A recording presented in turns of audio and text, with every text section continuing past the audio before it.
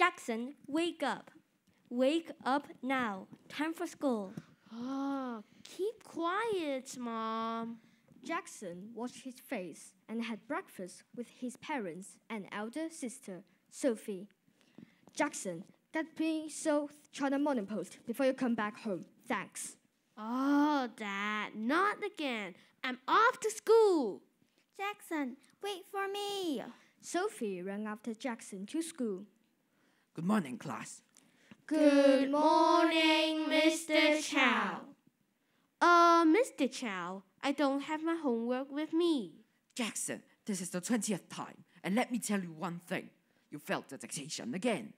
Mr. Chow, you made the dictation so difficult. It's not my fault, really, is it? Jackson, you, see me at recess. Becky, the class monitress, tried to cheer Jackson up. Jackson, are you okay? Shut up! Do I look like I'm okay? Go away, you fat girl! You're really mean. Whatever. On his way home, Jackson walked past the newspaper stand. Jackson, where's my newspaper? Oh, Dad, I'll buy tomorrow, don't worry. Jackson! I haven't promised you, have I? Sweetheart, that's very rude of you to say that. Say sorry to your dad.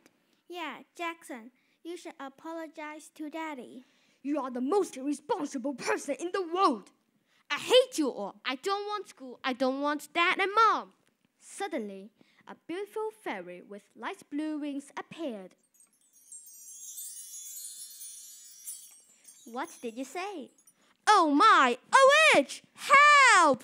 Excuse me, I'm not a witch. I'm a fairy. My name is Twinkle. I'm here to help.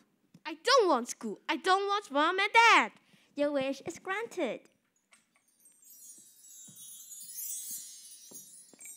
The next day, Jackson, wake up, Jackson.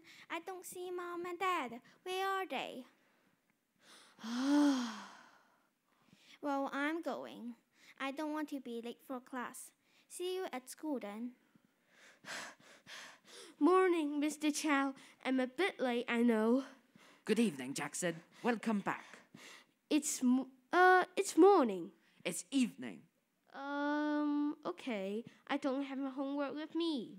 Good boy, Jackson. I'm impressed. Becky, Yes, Mr. Chow. why are you sitting so horribly still? Go stand at the back. Class, you have a two hour recess. After that, let's play Minecraft. Yay! Get off the computer, Jackson. No way, Mike. I've been on two minutes only and You asked for this. the big bully punched Jackson in the face. ouch! Mr. Chow, Mike hurts me! Good boy, Mike. You're really brave. Jackson, you're a troublemaker. Get out of my classroom. Sophie, Sophie, this is bad. Poor Jackson. What happened to you? Did Mr. Chow know? Yes, but he. I have to ask Twinkle for help. Who's Twinkle? Yes, sweetheart.